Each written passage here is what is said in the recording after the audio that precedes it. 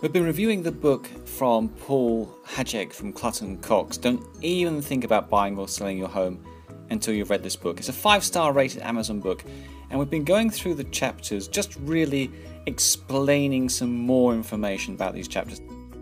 In this chapter of his book, Paul Hajek from Clutton Cox talks about conveyancing problems. Now, they don't come just in the title, there aren't just problems with conveyancing in the title because it can be in many different guises. Now, it can involve lack of documentation or potential for liability. For example, the chancel repair liability we talked about before, where you have to pay towards the repair of the chancel of a church.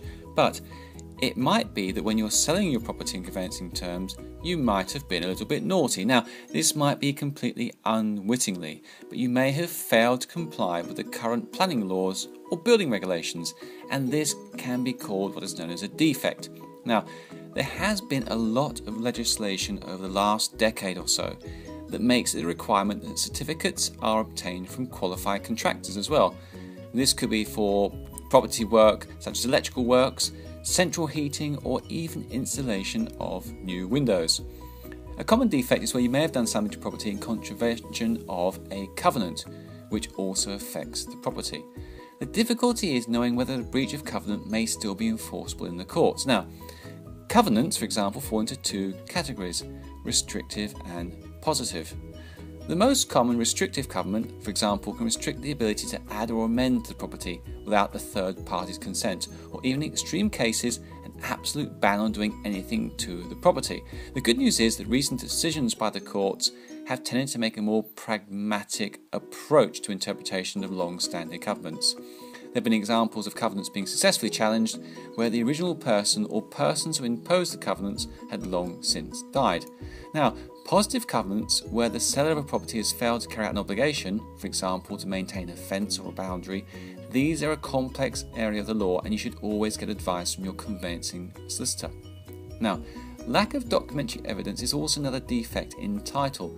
There are certain rights, such as rights to use a footpath, a lane, or even a road neighbouring property, that may not exist in any documentation.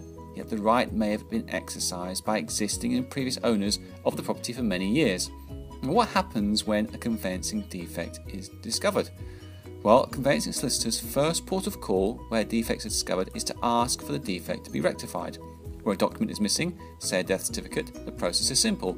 You ask for a copy or approach the relevant probate registry if one can't be located. Where there's evidence of a long standing usage of a footpath, for example, the seller may be asked to swear a document known as a statutory declaration. The statutory declaration will detail actual personal knowledge of circumstances which have existed over time, and they can be added to by successive owners until an actual right can be created. Some situations, however, may require fresh deeds to be drawn up, called deeds of rectification. The difficulty in modern day conveyancing is that the time taken to track down relevant parties or to seek permission for works carried out many years ago can be very time consuming and costly. This is where conveyancing solicitors turn to insurance companies. The insurance company will issue a defective title indemnity policy to cover the defect. Now, it's important to realize that defective title indemnity policies are not a perfect solution, as you will see in the following videos. Now, as always, if you have any problems or queries about defects in title, contact your conveyancing solicitor. He'll be more than pleased to help you. And check out following videos from this series from Clutton Cox.